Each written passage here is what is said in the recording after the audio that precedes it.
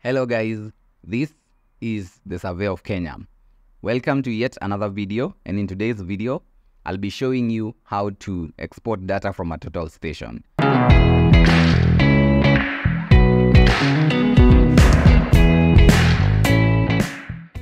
What do I need for this job? I need my total station, I need a USB drive, and I need my laptop.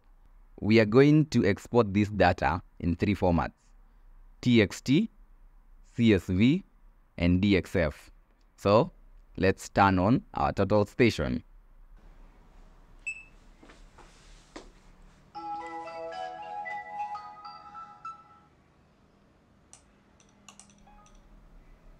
Our total station is on.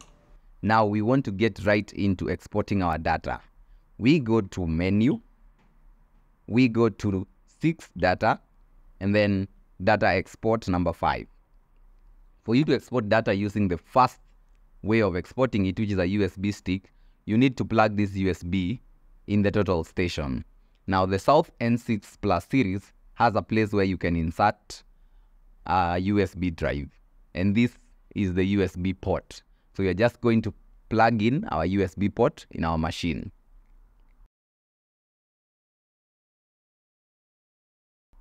Be gentle, do not force it in. Now, in the data export, I have number one, which is USB stick. So I'll click one. Under the data export display, I have job name, file, type, and format.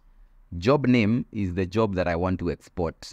For me, I want to export Chanda 19, which is already open. But assuming I didn't want to export that, I'd go to call and call the job that I wanted to export. Maybe Chandari, and all, the, all these are the jobs that are available in this machine. So I want to export Chanda 19. Okay. The first file format is TXT. I want to export it as coordinate data and I want to export it in the format of point, point number, northing, easting, Z, and description. I'll click OK and it exports. The data under the file TXT has successfully been exported. Now, I want to export this data as CSV. Under file, I am going to change it to, instead of TXT, I'm just going to dot CSV.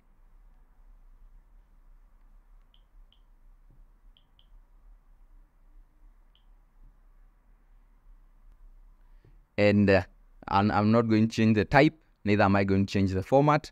So I'll just click OK. Now my files have been exported. My job has been exported as an Excel file. And the last file format that we want to export under USB is going to be DXF. The job name remains the same. The file name now, we, just, we don't need to change the file name, but you're going to change the type. So you just scroll using the left and right paths and it goes to .dxf. And then I'll click OK. Export. Now I have exported my data in three formats, .txt, .csv, and .dxf. We are going to go to our laptop and see what that data means. So I'll just plug out my USB and I'll insert it we have exported all the three file formats using a USB. Now we want to export this data instead of using a USB drive, we are going to use Bluetooth. So we are just going to repeat the process again. Menu, 6, data, data export. Then it asks me whether I want to use a USB stick or file by Bluetooth. I'm going to choose option 2.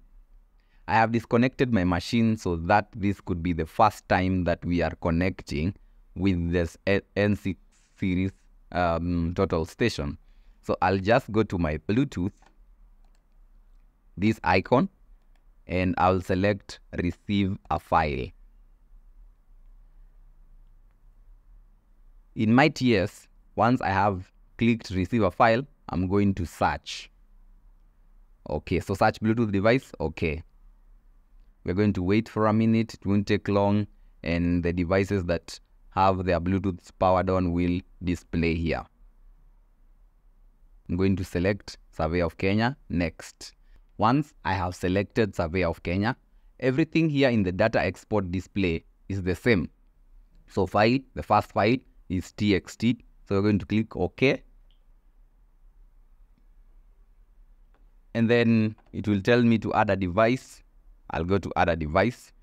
The default password for this machine is 1234 and there we have it. Now I can export this data and choose the file that I want to export it to. I'm going to choose desktop and I'm going to choose this new folder and OK.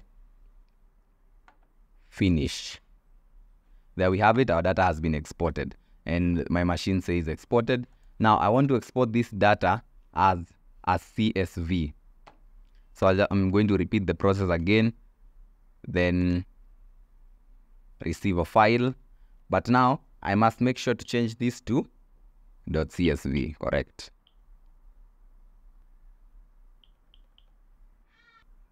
Okay. It displays here. Now this is a .csv, browse, desktop new folder yet again, okay. Browse, desktop, new folder. Okay. And then finish.